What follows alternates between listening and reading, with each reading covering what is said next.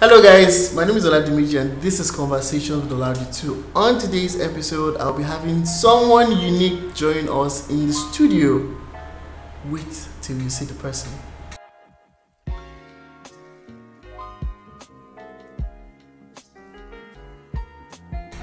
Yes, we're back. On today's episode, I'll be having a makeup artist. You know, he's a makeup artist, a young one, in fact. You know, he's, he's one of the youths that would actually inspire you and is someone you would love to meet and someone you would love to work with.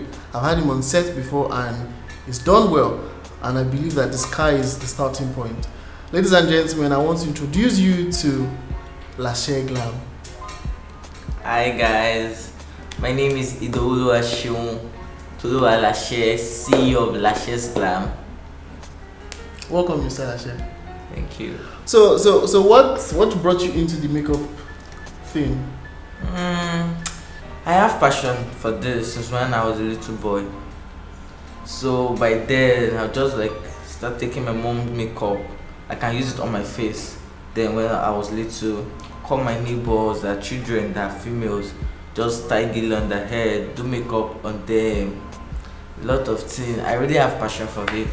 So basically, makeup is a calling for you. It's not. Yes. Not just like a professional hobby. Yeah. Okay. So, um, when did you start doing makeup? Like, when did you start getting clients? Um, like two years ago. So you're two years into the game. Yeah. Wow, that's that's interesting. Yeah. Um, let me ask you one of the generic questions that they will always ask. So, where do you see yourself in five years' time? Hey, Eh, I can't say oh, because me, I dream big most time. In five years time, I will have studio in a lot of places, abroad, Nigeria, a lot of places. So, what, what is what? Or maybe let me rephrase the question. When I say where do you see yourself in five years, I say, what do you plan to achieve in five years? In five years time, how how would have planned to have my own very big studio Okay. for working clients, photo shoots, Mm. and more five years time a very big studio well equipped with ring lights equipment and everything So, have you had have you had challenges being a make being a male makeup artist? Has there been any challenges no so far? no Okay, so has has there been any advantages being a male makeup artist? yes. Can you share some of those with us? the the advantage i have is that me being a male makeup artist and a young boy people like ah he's talented he's a small boy let me patronize him. Ah male will do it better than female. Some some clients even say some female do not make, want to make them fine. That boy boy woman farabalẹ̀ ṣe they will do it they will be calm. Hmm, okay, okay. So, um, what is? Can you can you give us like your your how do I put it? What is your go-to makeup for every like? What's the basic makeup that you that you do? Because I know there are different types of makeup. yeah. So when you're doing makeup for a client, what's like your go-to look? Uh, if a client she, some client tells me that they want a dramatic makeup, which is shouty, some say nude, Mm. some say natural. Like just use your brow pencil just to brush the brow hair. Does not have to be too dramatic. Okay. So which one do you do? I do um, Owambe. I do bridal makeup and for photo shoots. So it's basically events Yes. makeup that Yes. you do. You say you do bridal too, that is you do for weddings. For wedding. Oh, that's nice. That's actually dope. So, can you tell us, like, maybe a, a few clients you've worked with, you know, or events you've been upon?